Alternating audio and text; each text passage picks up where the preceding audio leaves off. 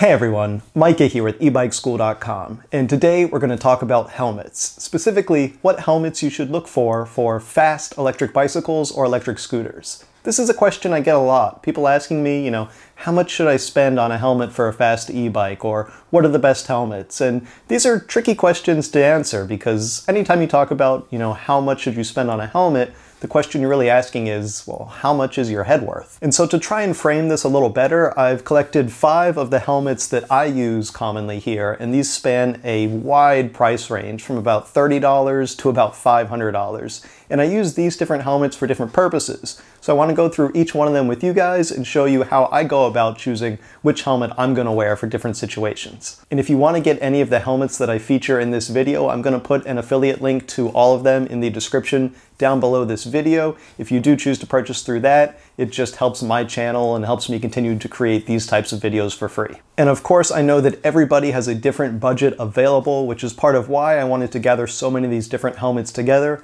Personally, because I'm something of a professional e-bike rider, I invest a little bit more in my helmets and I also have more of them in my quiver. But hopefully this gives you a better idea of what you might want to look for in a helmet for you. All right, so we'll start over here on the cheapest end of the spectrum. This is the Triple Eight skateboarding helmet, and this is the helmet that you've probably seen me wear in almost all of my videos. One of the most common questions I get is, what is that helmet you're wearing? Well, this is it, the Triple Eight skateboarding helmet. Now the reason that I use this for almost all of my videos is simply because it's a nice looking, unobtrusive helmet that kind of blends in with my head and doesn't take away focus from the bike that I'm trying to show in that video. This is not the best helmet out there by any stretch of the imagination. It is in fact the cheapest helmet that I have. The price ranges from somewhere around $30 to up to about $45 depending on the color and the size that you get. And I actually have a pile of these. Amazon tells me that I have seven of them apparently.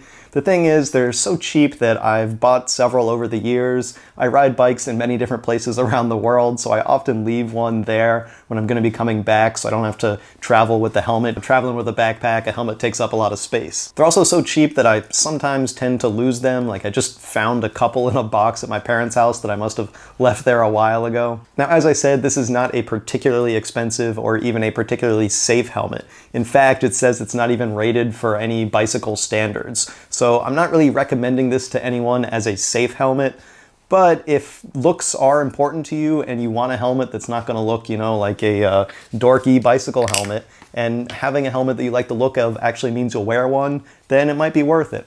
It's a simple ABS shell, the foam on the inside, it's got some um, pretty dense foam in the top here, and then a softer foam around the rim. It's got what is called the sweat saver lining that uh, doesn't start to stink when you sweat in it, which I can vouch for. It's actually pretty nice, but it is not a particularly safe helmet. There's just nothing here really than a bit of foam in the top and a hard ABS shell. If you were to, you know, land on some rocks, this would probably keep them out of your skull, but it's not really going to spread out any impact that well. So like I said, I don't really wear this one that much when I'm actually doing my own pleasure or commuting riding. This is really just my filming helmet because I like the way it just sort of disappears in my shots. This helmet's also pretty lightweight. It's 420 grams or just under a pound. So as far as helmets go, you know, it's not too heavy and it's, it's easy to just sort of throw around, throw in your bag, and when you're wearing it, you don't feel like you're wearing that much. So now moving on to a bit of a more expensive helmet. This is the first what I would call good helmet.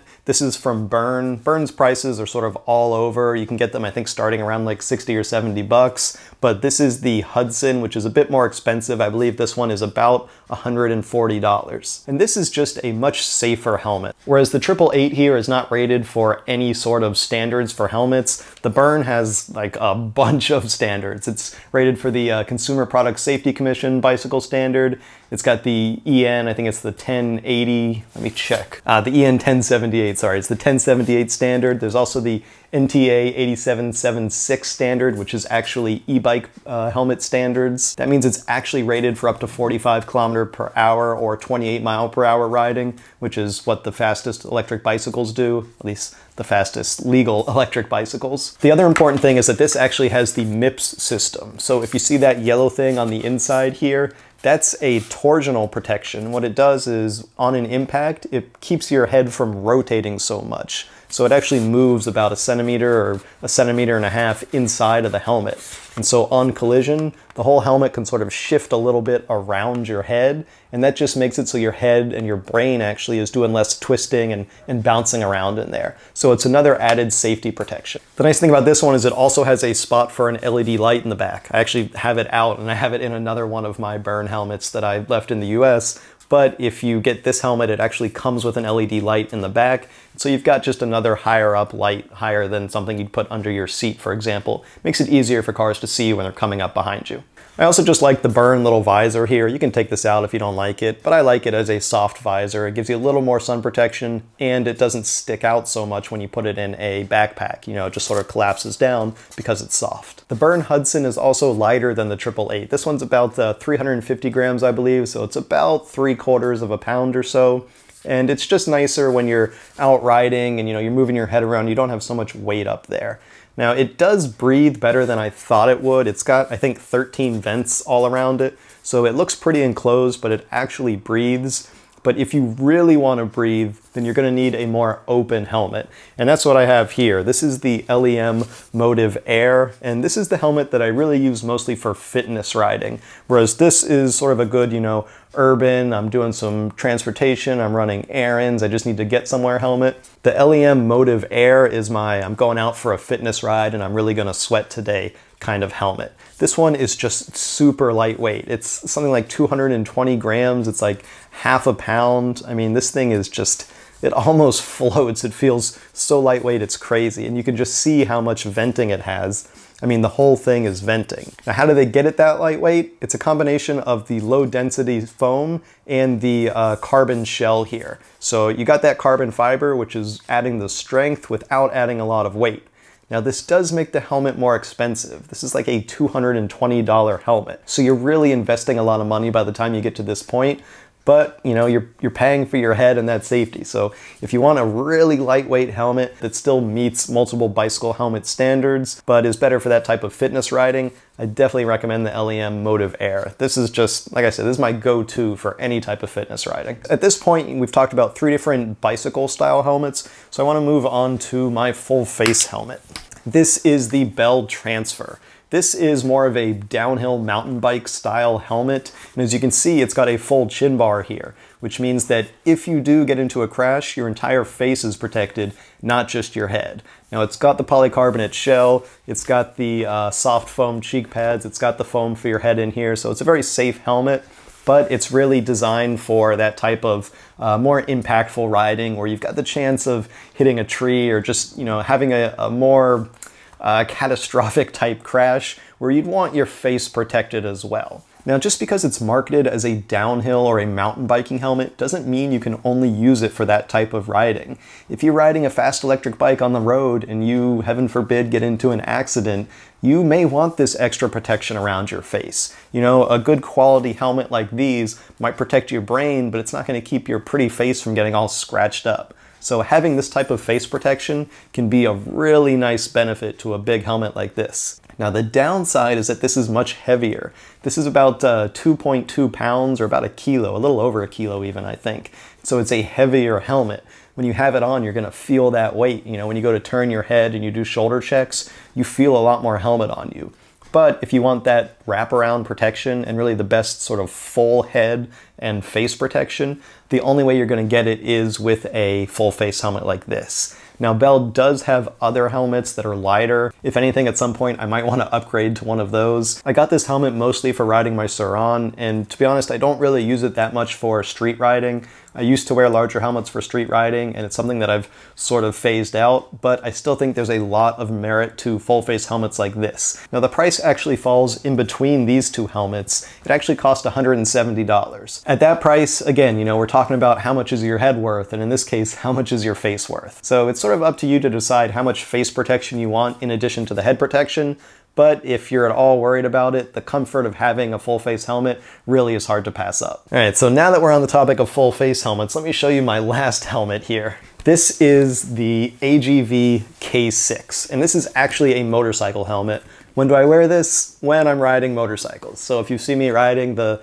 uh, Harley Davidson Livewire, Zero's electric motorcycles, all of the different electric motorcycles I wear, I'm usually wearing this helmet, or in fact, I also have an AGV Sport Modular that has the uh, whole flip up front like a modular helmet, though I prefer this one most of the time because it's lighter. This is a 2.9 pound helmet or about 1.35 kilos, so this is the heaviest of all, but it's also the safest of all, and motorcycle helmets are typically heavy. In fact, this one is much lighter than most motorcycle helmets, and part of that is because of the materials it uses. It uses a combination of carbon fiber and aramid fibers in the shell, then it's got five different layers of foam in here, five different densities. And the whole point of multi-density foam is that it protects at different speed impacts. So if you look at any other helmet, in fact, all of these have just one density of foam. And what that means is that they've sort of had to optimize for what speed they think this helmet is going to be impacted. With five different layers and five different densities of foam in a motorcycle helmet like this, it means that each density of foam is optimized for a different speed. So, you know, the lower density foams will crush more at lower speeds, and the higher density foams won't really impact much, but at higher speed, you want that higher density foam because you're just gonna, you know, crush right through the lower density stuff immediately. So this really is the safest of them. When I first started riding electric bikes, I was wearing a full face motorcycle helmet. I went on eBay and I bought a used full face lid and it wasn't a great helmet, but it gave me that peace of mind, especially in the very beginning of my e-biking career. I mean, that was what, 10, 11, 12 years ago at this point. Uh, but I was on pretty fast e-bikes. My first e-bike I built for myself went 30 miles an hour. So having a motorcycle helmet was a really nice thing to make sure that I was really protected. I don't really wear motorcycle helmets when I ride my electric bicycles anymore Part of it is that, especially living here in Israel, it's very hot most of the year, and I like to be able to have helmets that breathe a bit better. Though I will say that in the winter, having a full face helmet like this is really nice because it keeps your face nice and warm and you're not freezing your nose and lips off. A downside to a full-face motorcycle helmet is that these are likely going to be more expensive. This one specifically is about $500, which is quite pricey when you compare it to everything else here. I think it's almost as expensive as all of these other helmets combined, actually. So you're talking about a big investment, but again, it's like, you know, how much is your head worth? Like I said, I usually stick to this one for riding actual motorcycles because that's where you really need this level of protection but there's no reason you can't use this with an electric bicycle if you just want to make sure you have that highest level of protection.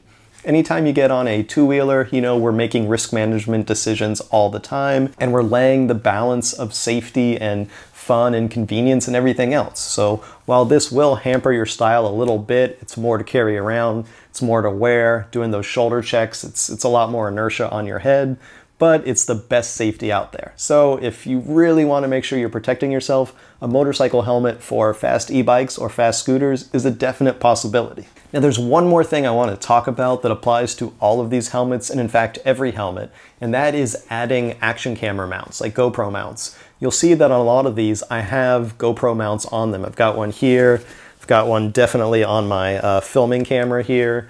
Got them on my, uh, let's see, over here on my Bell Transfer. And I do that because that's kind of my job, right? Like I make bike videos. But you should know that having these mounts on here and definitely having cameras on those mounts will change the way these helmets function in a crash and will almost certainly reduce their effectiveness. These helmets are designed to not have anything mounted on them. When they perform tests on these helmets, there's nothing stuck on the side that's creating a stress riser in that square spot like that. And definitely if you have a big camera mounted on here, that's gonna add a lot of torsion and just other unpredictable forces in a crash. So keep that in mind that if you're really worried about safety, consider putting a GoPro somewhere else instead of on your helmet. Now, there's not really anywhere that's safe to put it. You know, a chest-mounted GoPro, if you get into a crash and that thing goes an inch into your rib cage, there's a lot of important stuff in there. You know, putting it on the bike is probably the safest, though then it can become an impalement hazard. Basically, there, there's no real guaranteed safe way to ride with cameras, but just keep in mind how they might impact your safety if it's something that you want to consider and weigh into your risk choices. So there we have it. Those are my five most common helmets that I wear. I've got a couple other floating around, but these are really the five that I go to for my different types of riding. I hope you guys found that video helpful and interesting. Like I said, if you do want to look at any of these helmets in more detail, I've got links to all of them in the description below. And last but not least, it is time to announce the winner of the giveaway from my last video. And the randomly selected commenter who will win a free copy of one of my books is... Travis Liu. So congratulations, Travis. Just let me know which one of my books you'd like and where to send it. You can choose from DIY lithium batteries, DIY solar power, the ultimate do-it-yourself e-bike guide, or my most recent book, The Electric Bike Manifesto. And anybody else who wants a chance to win one of my books for free, all you have to do is put a comment down below. You can say anything you'd like, you can tell me what kind of helmet you wear, and hopefully you'll be the randomly selected commenter at the end of my next video. And anybody else who wants one of my books but doesn't want to wait that long to hopefully win it for free, you can always find them on Amazon, which helps support me making these videos. Alright, thanks for watching everybody. I'll see you here next time.